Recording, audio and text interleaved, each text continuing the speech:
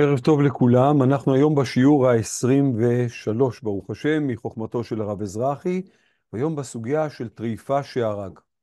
זה גמרא בסנהדרין בדף ע"ח עמוד א', קודם כל מה זה טריפה? אדם שעומד למות מכיוון שהוא חלה באיזושהי מחלה אנושה או נפצע בפצעי מוות, הוגדר טריפה. ורבא אומר, ההורג את הטריפה, אדם הרג בן אדם אחר שהוא ממילא עלול למות, או צפוי למות. אז הוא פטור. כי הוא מה שנקרא גברא קטילה קטן. הוא הרג אדם שכבר ממילא אין בו חיים. לעומת זאת, מה קורה הפוך? טריפה שהרג. הוא עצמו טריפה, אין לו, אין לו תוחלת חיים, אבל הוא הרג מישהו אחר. אז הגמרא אומרת ככה, מה רבא? אם הוא הורג בפני בית הדין, לא צריך עדים, כי בית הדין בעצמם רואים את זה, אז הוא חייב, כי כתוב, וביערת הרע מקרבך. אם שלא בפני בית דין הוא הרג, אלא העידו עליו שהוא הרג, עדים העידו עליו שהוא הרג, אז הוא פטור. למה הוא פטור? מכיוון שהעדים הם לא עדים. למה שהעדים לא יהיו עדים? הוא, הוא טריפה, אז העדים לא עדים? הכלל הוא כזה, כתוב בתורה בדברים י"ט, ועשיתם לו, כאשר זמם לעשות לאחיו, וביערת הרע מקרבך. למדו חכמים, עדות שאתה יכול להזים אותה ולקיים בה כאשר זמם, היא עדות. אבל עדות שאתה לא יכול להזים אותה, לא נאמר עליה עדות. עדות זה רק מה שאפשר להזים. והאמת היא שיש בזה היגיון, כי העדים, הזוממים, העדים, אם הם לא חוששים להיות מוזמים, אין להם חשש כזה, אז ממילא אין להם נאמנות מלכתחילה. מה שאתה לא יכול להפריך אותו, אתה לא יכול להוכיח אותו, כי איזה מין עדות זאת, הם לא חוששים להיות מוזמים. עכשיו, למה במקרה של טריפה זאת עדות שהיא אתה יכול להזימה? כי אם יזימו את העדים, לא תוכל לעשות להם את כאשר זמם. למה? כי הם באו להרוג את הטריפה. ואם אתה תהרוג אותם, אתה תהרוג אנשים חיים, אנשים עם תוחלת חיים. והם באו להרוג אדם שאין לו תוחלת חיים. אז זה עדות שאתה יכול להזימה ולהשמע עדות. עכשיו, לעומת זאת, עדים שהעידו בטריפה שהרג, כן? טריפה שהרג, והוזמו, העדים עצמם העידו והוזמו, אז הם לא נהרגים. למה? כי אמרנו, העדות שלהם היא לא עדות. אז ממילא אין, אין מה להזים פה, זה לא עדות בכלל, אוקיי? עדים שהעידו באדם שהוא בסדר, אבל הם טריפה. לא הרוצח הוא טריפה, העד טריפה, והם הוזמו. אז רבא אומר, הם נהרגים. מה זה? וביערת רע מקרבך, עדי שקר, הם הורגים אותם. רב אשי אומר, הם לא נהרגים. אה, למה הם לא נהרגים? כי אין להם את מה שנקרא זוממי זוממים. הם עכשיו עדים שמעידו שפלוני הרג. אם העדות הזאת עכשיו, שבאה להזים אותם, עדות שבאה להזים אותם, היא עדות שאי אפשר להזים אותה. למה? כי אם יזימו את עדי ההזמה האלה, אי אפשר יהיה לעשות להם כאשר, כאשר זמם. כי הם הלכו להרוג אנשים שהם טרפה, והם עצמם אנשים חיים עם תוחלת חיים מלאה, אז ממילא את העדים שיבואו להזים אותם, אי אפשר להזים. אז ממילא, כיוון שזממו להרוג עדים שהם טרפה ולא עדים שלמים ואי אפשר להרוג אותם, אז זאת עדות שאי אפשר להזים את הזוממים, אז זה שוב פעם עדות שאי אפשר להזימה. או שזאת עדות שכל אחד יכול להעיד נגדה ואף אחד לא יוכל להזים אותה. רבא סובר לא כך, הוא סובר שהם, נהג, שהם נהרגים, כי דין עדים זוממים זה חידוש. חידוש. למה דין זוממים זה חידוש? כי יש עדים מול עדים. מה פתאום אתה מאמין לשניים יותר מאשר לראשונים? אלה אומרים, אנחנו ראינו מקרה כך וכך בתל אביב. אלה אומרים, איך אתם מעידים כך וכך בתל אביב, הייתם איתנו בירושלים. אומרים, לא, אנחנו היינו בתל אביב. אז יש כאן עדים מול עדים. מה פתאום מעמידים לשניים? כי התורה אמרה. התורה אמרה, כן, שמעמידים לשניים. אז זה חידוש של התורה. חידוש של התורה, עליו, על החידוש הזה, לא נאמר הדין של עדות שהיא אתה יכול להזימה. הכלל הזה לא נאמר, ולכן, ביחס לדבר כזה, אנחנו נקבל את העדות, ורבא לכן סובר שעדים שהם עצמם טריפה והם הוזמו, הורגים אותם. ולעומת זאת, רב אשי אומר שלא הורגים אותם. עכשיו, הדבר הזה נצטרך ברמב"ם. הרמב"ם כותב בהלכות רוצח ושמירת הנפש, פרק ב', הלכה ט', אדם טריפה שהרג את הנפש נהרג. שנאמר, וביערת הרע מקרבך. הרמב"ם אומר את הטעם, וביערת הרע מקרבך. והוא שיהרוג בפני בית דין. אבל אם הוא הרג בפני עדים, הוא פטור. למה? שמא יוזמו העדים, ואם הם הוזמו הם לא נהרגים. למה? כי הרי לא זממו להרוג אלא טריפה.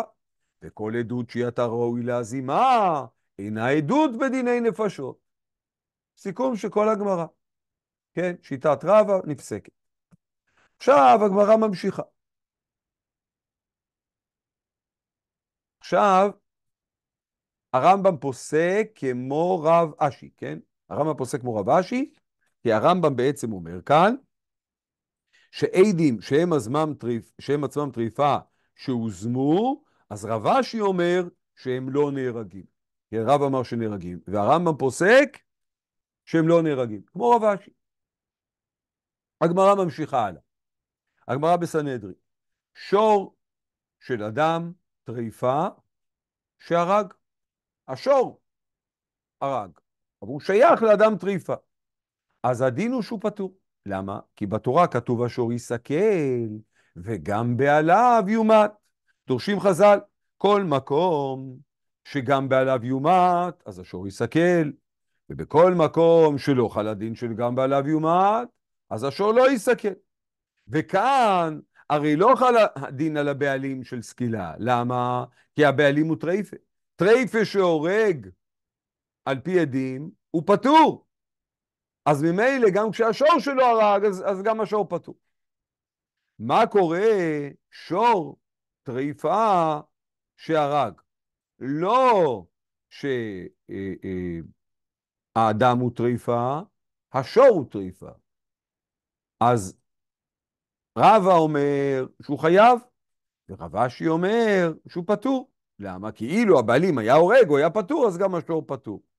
למה לרבא לא חל הפטור של עדות שהיא אתה יכול להזימה, כמו שנקט רב אשי? כן? שור טריפה שהרג. אומר התוספות שטעם הפטור באדם לפי רבא היא שזאת עדות שהיא אתה יכול להזימה, זה אומר לו שייך על שור. הרי שור, אם יוזמו העדים, אז אם ישלמו את דמי השור, את דמי השור, ש... שור הטריפה, יש... זה כסף.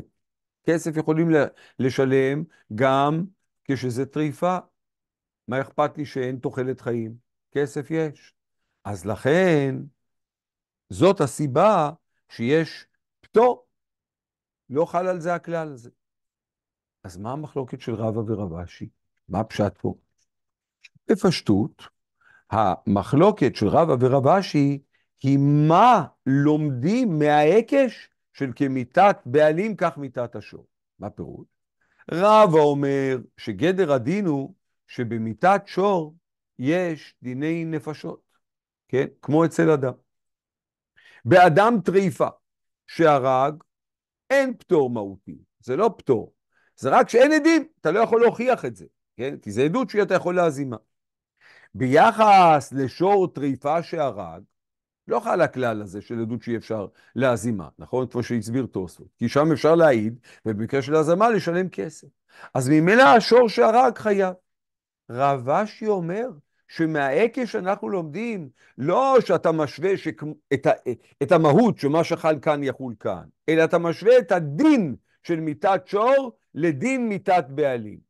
לא שהעקש לא אומר שיש לשור תורת נפשות כמו אדם, אלא זה גזירת הכתוב טכנית. כל מקום שבו אדם פטור, מאיזה טעם שיהיה, גם השור פטור. זאת הסיבה. הנה הבנו את המחלוקת. עכשיו, הרמב"ם בהלכות נזקי ממון, פרק י', הלכה ז', פוסק, עוד פעם כמו רב אשי.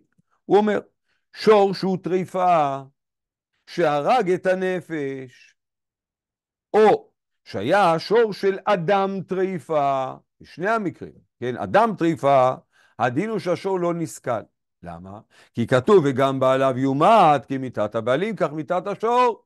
כיוון שבעליו כמת הם חשובים ואינם צריכים מיתה, אז הוא פטור.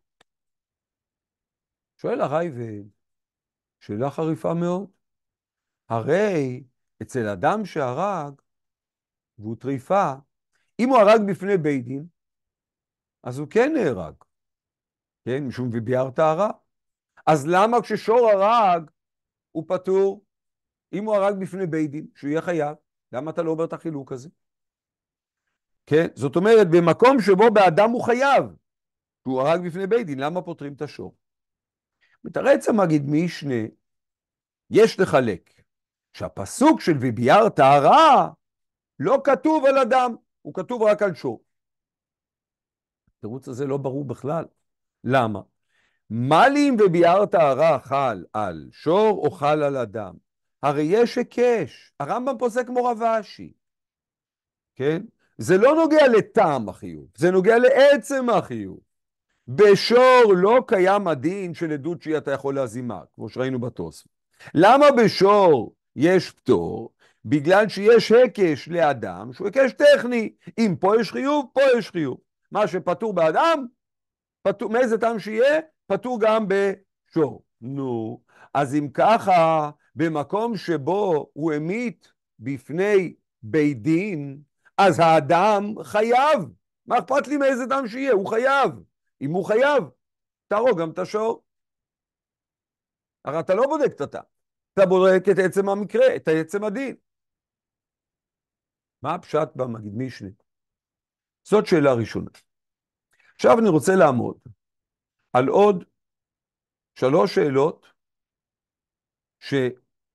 שמאיר, שמעלה רב אלחונון וסרמן בקובץ שיעורים, חלק ב', סימן ל"ט. שאלה ראשונה, מה אמר עכשיו המגיד משנה?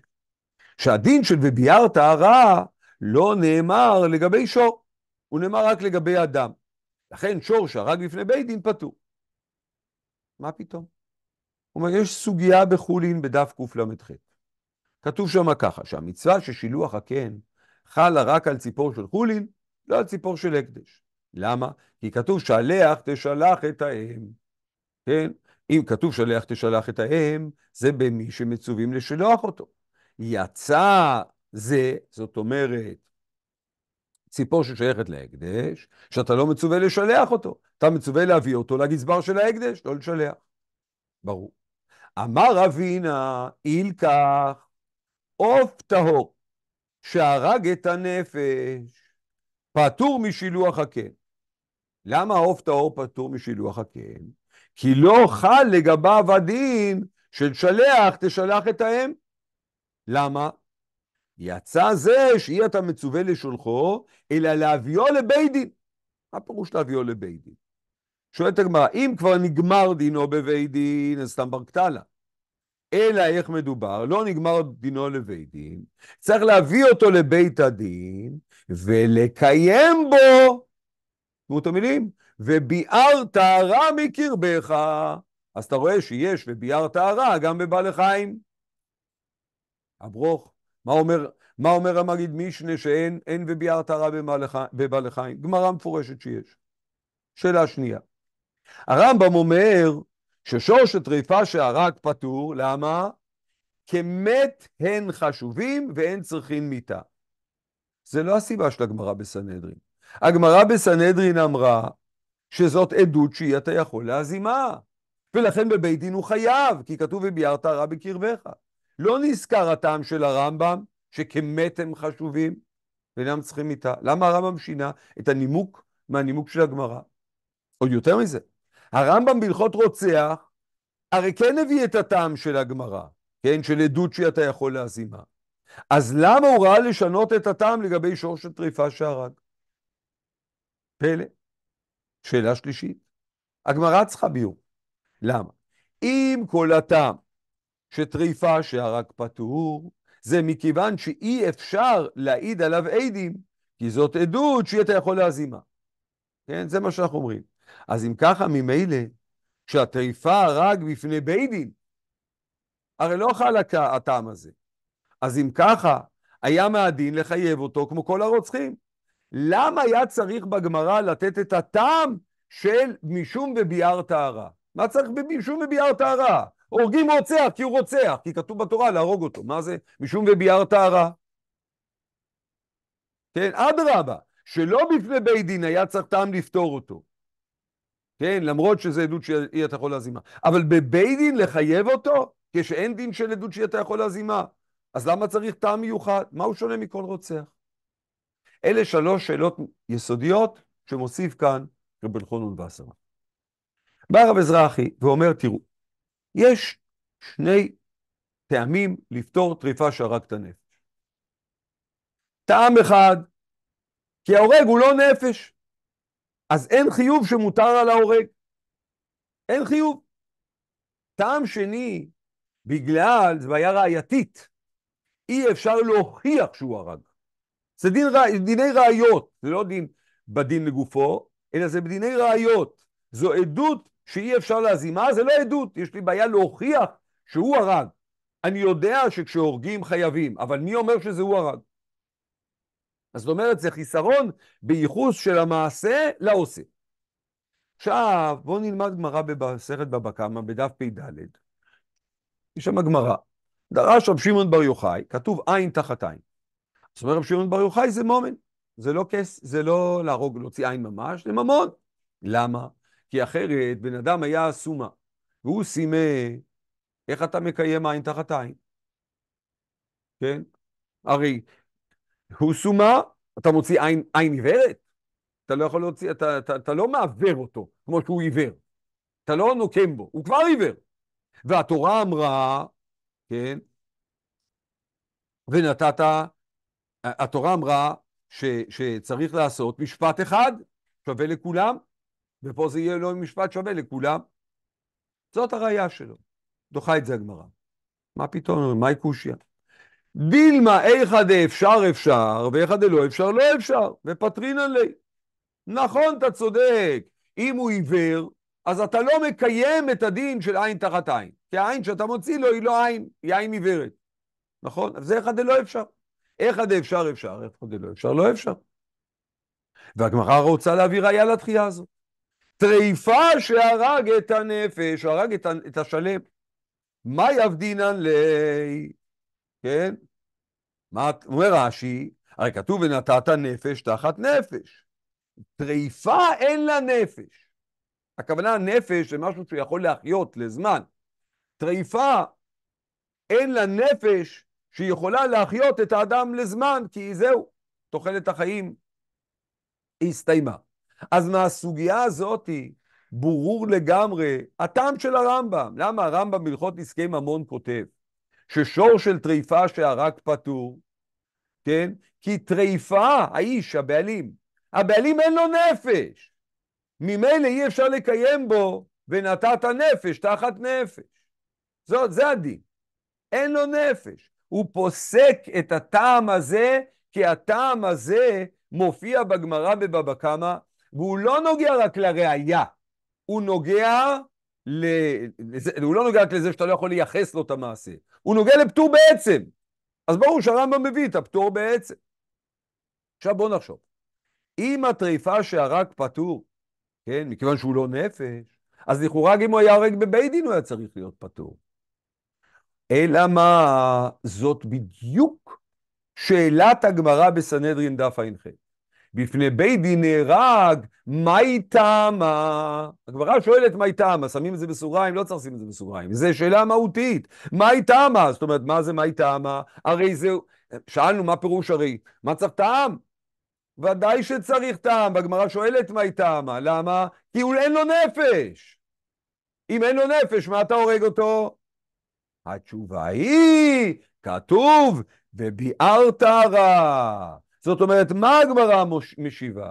נכון, מכוח דיני נפשות, לא צריך להרוג אותו. הוא לא... אין פה חיוב. למה? כי זה לא נפש תחת נפש.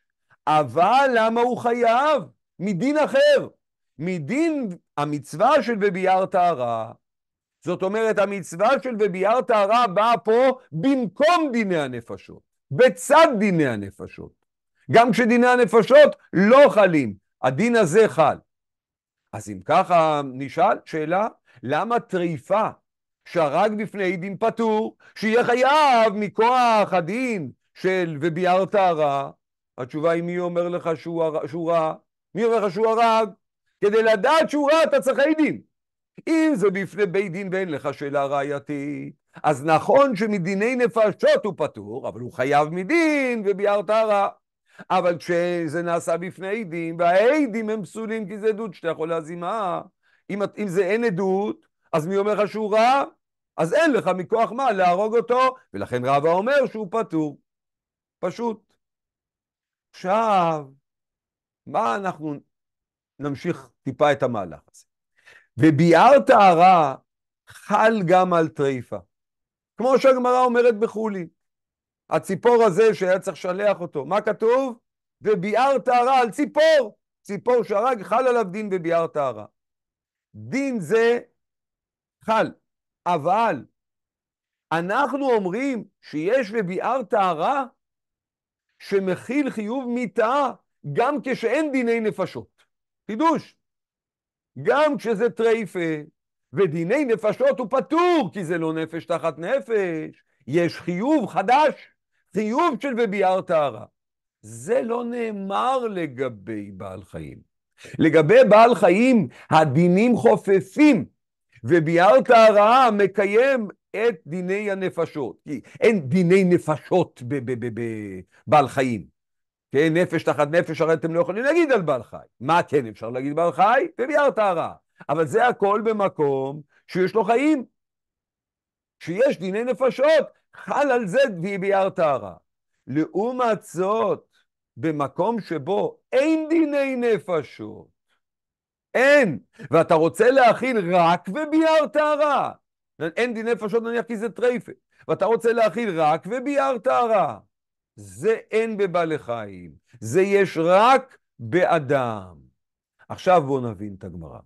הרמב"ם אומר שההיקש של אדם לשור נאמר רק על דיני נפשות, לא על דיני וביארת הרע, זה אין היקש. לכן מה קורה? טריפה שהרג, אין דיני נפשות, ואין היקש שור לבעלים, אז אין וביארת הרע, פטור. הרייבד סובר שגם ביחס לדין של וביארת הרעה יש היקש של אדם לשור, ויש חיוב, חיוב מכוח וביארת הרע. ההיקש הזה יחול. לכן, אם השור הרג, ש... שהרג שייך לאדם שהוא טרייפה, ואין דיני נפשות, לפי הרייבד יכול להיות קושי של עדות שאתה יכול להזימה. אבל חיוב מהותי יש, מכוח וביארת הרע, שחל גם על השור.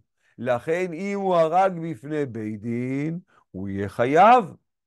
אבל המגיד משנה אומר בדעת הרמב"ם שהוא פטור, כי בטרייפה אין דיני נפשות.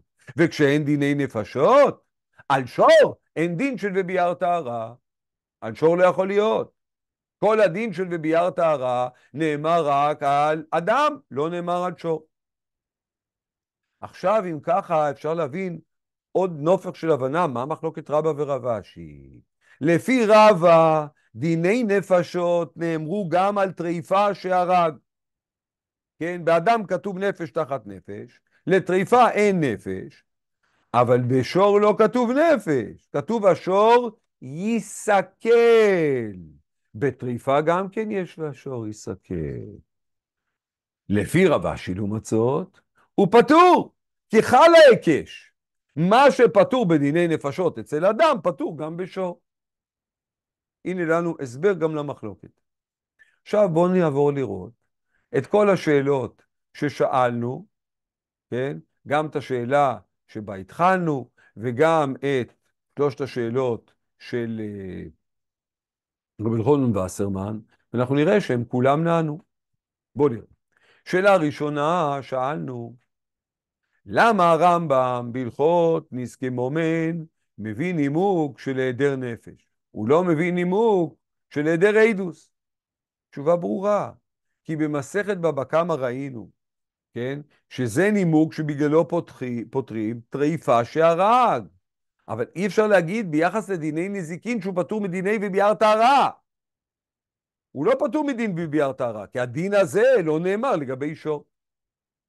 ולמה הרמב"ם מלכות רוצח נקט את הטעם של שאין עדות? מכיוון שראינו בגמרא שאם הוא רצח בפני בית דין הוא חייב, בגלל הכלל של וביער טהרה, כן? עכשיו, רק לגבי מקרה של רוצח בפני עדים הוא פטור, כאילו אי אפשר לייחס לו את המעשה, אי אפשר להגיד שהוא רע. אבל בלי עדים, זאת עדות שאתה יכול להזימה, ולכן הוא פטור. עכשיו, שאלנו על המגיד משנה. הוא אמר שוויביארת ברן לא נאמר לגבי שור, ויש גמרא בחולין שוויביארת רע נאמר לגבי בעלי חיים. התשובה היא נכון, יש וביארת רע בבעלי חיים, אבל זה מקביל לתכולת דיני נפשות.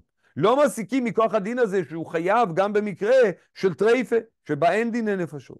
הדין הזה, שיש הריגה מכוח ובירה הרתעה גם כשאין דיני נפשות, זה נאמר רק באדם.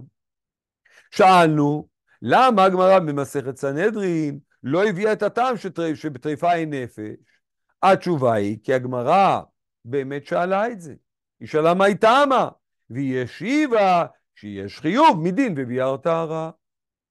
ועוד שאלנו, היה צריך להזכיר בגמרא, במקרה של הריגה בפני עדים, שיש חיוב מכוח הכלל של וביאר טהרה. והתשובה היא, היה מקום לפתור אותו, כי טריפה היא לא נפש. רק מכוח הכלל של וביאר טהרה נוצר חיוב גם כשלא קיימים דיני נפשות.